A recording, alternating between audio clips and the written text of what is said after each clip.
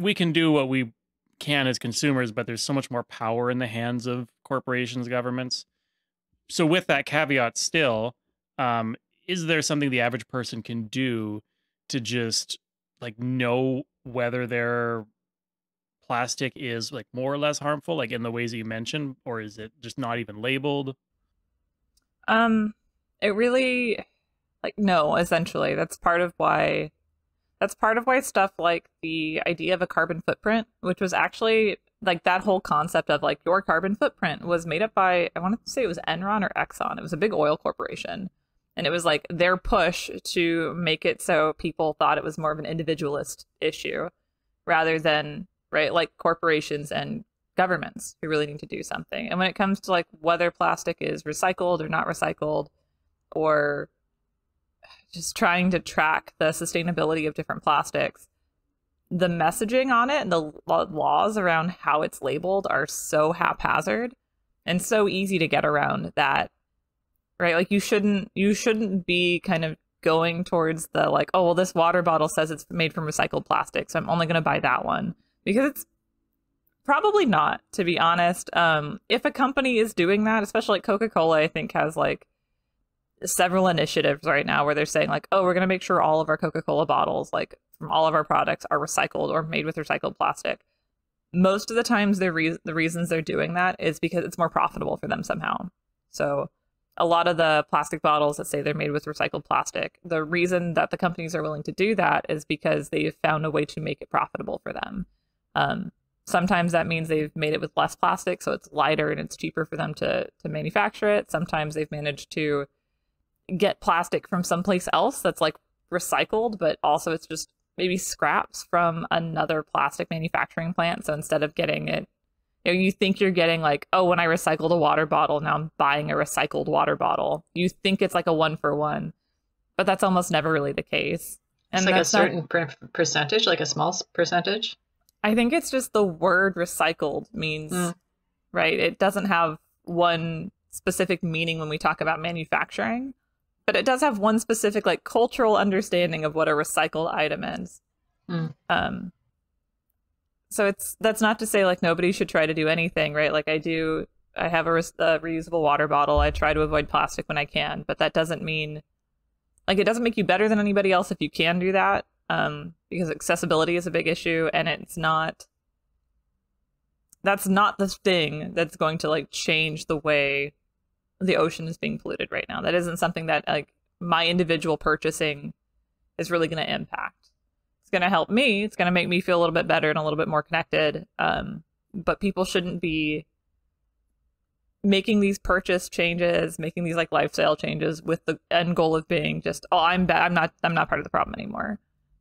Um, and that's that is, I think, what I've seen from like when I used to have eh, Instagram, you'd see like kind of lifestyle influencers talking about how like how little plastic waste they use, and that kind of being the the end. It's kind of like that's the that's it. They did it. They did the thing. Instead of it being like, well, I'm going to reduce plastic because I care about that because I don't want to like be putting more plastic into the world, but also I'm going to try to make sure that I am aware when there are things on the books that I can vote for or that I can like educate other people about um, that will actually help with plastic reduction, like plastic waste. The easiest to just sort of like hit is that like people talk about recycling, but they kind of forget that like the three R's are like reduce, reuse, recycle. And so like recycling is actually like the last part of that. And like when that sort of system came into place, when environmentalists were talking about reduce, reuse, recycle in the I think the 60s and 70s is when they started that. Um, they meant it to be in that order. Like that was a very specific thing. Like you reduce the amount of things that you use. So you use reusable stuff when you can. You try not to get to go if you can help it. Um, and uh, again, like that is all going to be completely based on it. It is very expensive to not get single use items. It, it is literally like not something many people can afford. Um, so if you can't afford it, it is not your fault. Essentially, like it is not your responsibility to try to you know, work a budget that is barely working for you and also feel bad about having to use single use items. That's right, that's just economics. It's shit and it's not your fault. Um, reuse is buying things right that you can reuse. So if you get like a tub of something, if I get like a tub of cottage cheese and the tub has an actual lid, I'll reuse that, right? Like it's not going to last as long as like if I bought something new, but it'll still be fine for a lot of things. Like then you go to recycling. So like recycling really isn't supposed to be the first step on this where that was another thing that a lot of corporations did. Um oh man cottage cheese is good though. Um uh corporations did work to kind of like make people forget about reduce and reuse because if you're reducing the amount of shit you buy and then reusing the shit that you do buy right like that's not profitable and so that's another thing where like it all sounds kind of like conspiracy until you find the memos from these corporations that are very much like well we need to like we need to find a way to like make this work for us um so then when we talk about recycling and the energy that it takes, uh, it is in the US and Canada in particular, it is very expensive to recycle. There are not enough recycling plants, is a big part of it. And then um, I know it kind of in the US at least, it really depends on your county or your city. Like when I grew up, uh, we had bins, right? We had a plastic bin, we had a glass bin, we had an aluminum bin, we had a paper bin. Um, and depending on where I've lived, that's kind of the most separated that the US gets. A lot of times, I don't have recycling in Hawaii. Hawaii barely has any areas that actually offer recycling services. Um, other areas, if you have recycling at all, it's like one big blue blue bin and that's it. Um, but if you go to countries um, like I lived in Japan and Korea for a while, they have not just like plastic, glass, paper, but the plastic is also separated into different types of plastic because that's a big deal. Um, you have to clean it. So there are countries where like you actually get fined by the like local like municipal government if you try to recycle plastic that is dirty. If you have like a yogurt cup you have, if you have a cottage cheese tub you haven't cleaned out, um, they'll fine you for it because those are the things sorting the different types of plastic and then cleaning them enough that they're actually able to recycle. That's where it's really expensive Like, that's where it takes the most energy and plastic isn't because plastic is so soft you can't you kind of just can't throw it all in like a really hot chemical bath and like clean it and it's good like things stick into it and then the chemical bath will start to break it down in ways that make it less able to be recycled fully. Whereas like with glass and aluminum you can just soak them in something really hot and like basically boil all of the foodstuffs off of it and then recycle it. It's not a problem.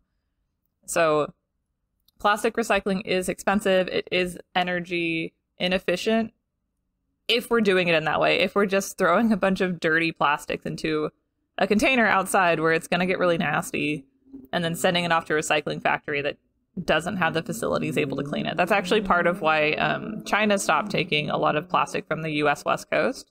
We'd been sh- we'd been selling it to China to recycle part of it was there was too much, but a lot of it was that it would get to China. And I cannot imagine how fucking disgusting this like like old milk jugs and stuff would have been after sitting in like your recycling bin outside for two weeks and then at a dump somewhere for months and then on a cargo vessel for weeks and then they'd finally get to China and it would just be fetid. Uh, and they weren't able to recycle it. So that was right? Like, kind of the thing we were told was that the plastic was too much for them to use, but it was actually too dirty. Yeah, because that's sort of what happened here. Was uh, like at least in places I've lived, which is just like two cities in Alberta, but there was in the last few years basically this shift from like we're doing all this sorting to you know, you're going to put it all in one bag and we'll right. sort it to we're not even pretending anymore just yeah like we were not taking basically any plastic and it's just more of like an acknowledgement of reality, but it sucks. It's still if you have access to a recycling bin, um, most areas that still do that, it is still good to do. It is still like it is good to put your like to sort your recycling out when you can, um, because at the least, then you have kind of your trash. Trash that isn't plastic is mostly compostable. So if you have a dump that is mostly filled with not plastic, it's still mostly going to be like food scraps and things that will break down over time, paper. Um, so you can put those in a landfill and it's not great, but at least at some point you know it will kind of like it will break down in some way. It will compost at least to some degree.